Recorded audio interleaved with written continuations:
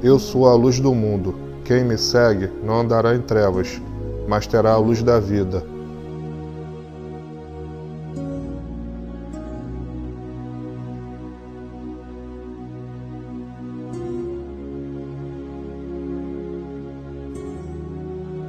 A paz do Senhor Jesus, sejam muito bem-vindos ao canal 2 Minutos com Deus.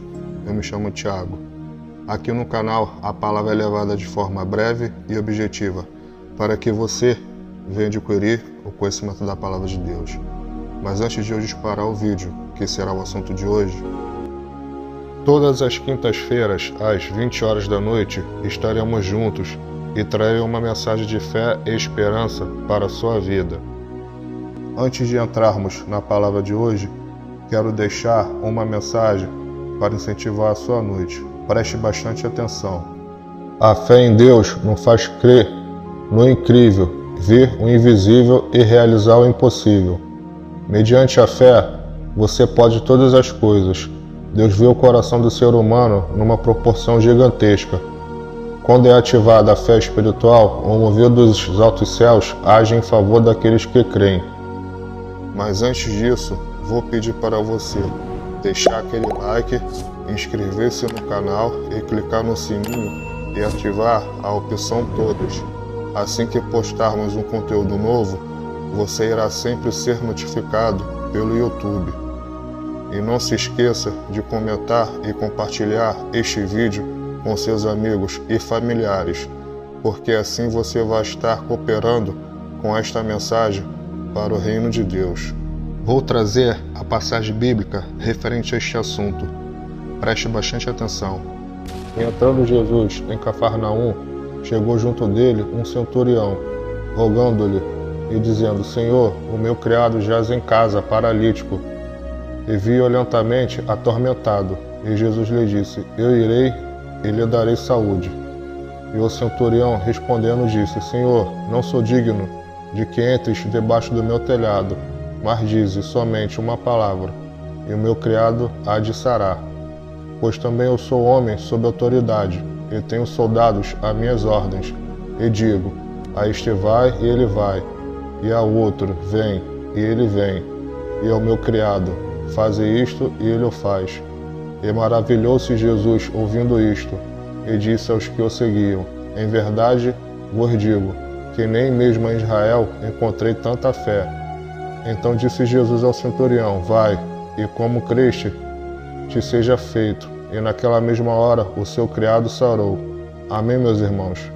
Um centurião naquela época era responsável por cem soldados romanos. Era o oficial responsável por comandar uma centúria, dando ordens que deveriam ser prontamente obedecidas pelos homens que liderava inclusive na rápida execução de uma qualquer formação militar. Encarregava-se da disciplina e instrução da legião. Naquela época, Jesus, por onde passava, fazia muitos milagres, curava cegos, leprosos, paralíticos, mudos e coxos, assim manifestando seus milagres em Israel.